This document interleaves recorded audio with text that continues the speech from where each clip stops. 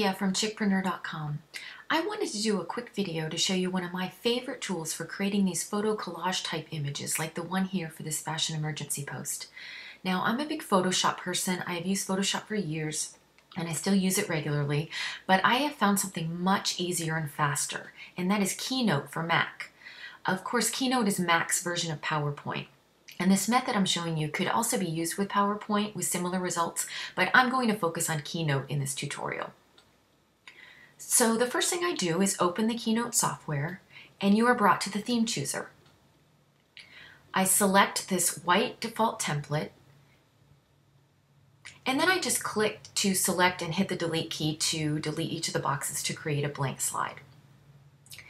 Now what I like to do is make this background or work area the width of my blog post, and that way I know it's going to fit and it's easy to visualize how it's going to look on the page.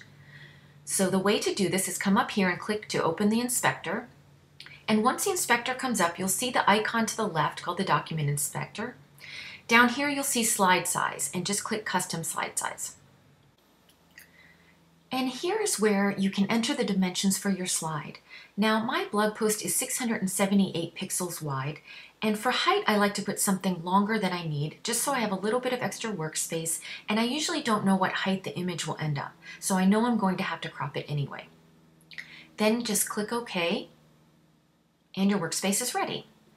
Now you want to open up the folder where you have the images that you want to use for your collage. And then just start dragging them in. Now don't worry about resizing anything ahead of time. This is how cool this is. We're going to edit everything right in here.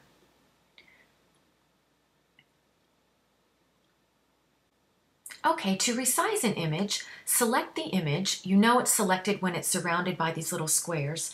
And go to the corner, hold down the mouse, and you can drag these corner handles. You don't even have to hit Shift key to maintain dimensions. It just does it automatically. Now you're just going to drag the photos and position them and resize them how you want. And this is what I love about Keynote. You're not working in layers like with Photoshop or some of the other programs, and everything is drag and drop and happens right here. Now, if your photos are not all transparent and you're working with isolated images, they are bound to have the white background. This can create a problem if you want to position images next to each other. To fix this, you'll want to select the photo whose background you want to remove, and then click this red tool up here that's called Instant Alpha. Your cursor will then turn into this little crosshair, and once you have the crosshair, you click and hold the mouse down and drag around the image. Then hit enter, and the background's been removed. Now, sometimes you may have trouble when the tool picks up some of the image or removes some of the edges. You may need to just work with it a bit and do the best you can. Now, if something gets screwed up, you always have the ability to undo it. To do this, come up to Edit and then hit Undo, and it will undo the last action you performed. You can keep hitting the undo until you get back to where you want it to be. Another cool feature is if you do want to line something up, you can see that these guides pop up automatically and they show you when you're centered with another image or if you can see here, it shows the spacing dimensions. Another way to line up images is to select the photos you want to align with each other using the Command key and right click and that will open up a menu to where you can align the objects. Now this also works if you want to control the depth positioning of a photo and put one of the photos in front of the other. Like here, I can just right click and bring the photo to the front. Now, if you wanted to rotate a photo, maybe to make it fit better in your collage, then select the photo. And if you hover your mouse over the square border guide, you'll see a horizontal arrow. Now hold down the command key, which is next to the space bar, and this arrow turns into a little U shape and then you can adjust it however with your mouse. Okay, let's say we have everything lined up the way we want it and now we want to add numbers or text. To do this, just come up here and click where it says text box and a text box appears on the slide. Now this is drag and drop just like everything else. Now you can type numbers or text. Inside this text box functions just like any other word processing type of program where you can change the font or bold or italicize, and you can do it right up here on the toolbar.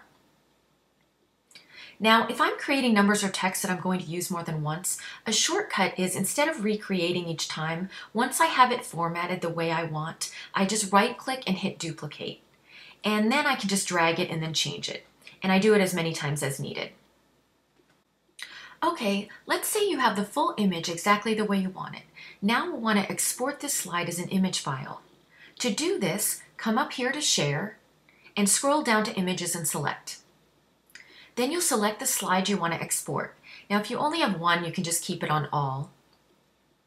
Now one downside to building this in Keynote is the exported image is going to be huge. So if you're going to post this on the web, you're most likely going to want to reduce the file size. Otherwise your page will load slowly, which is bad.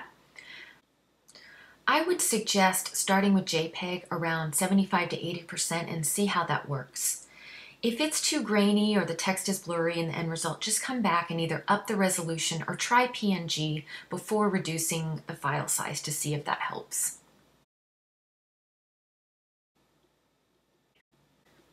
Then just click Next and name your file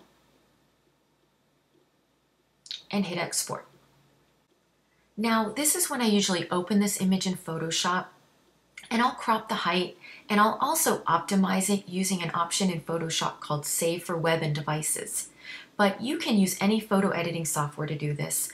There are also free websites out there that are designed to optimize file sizes, so I'll be sure to leave a few in the options in the description.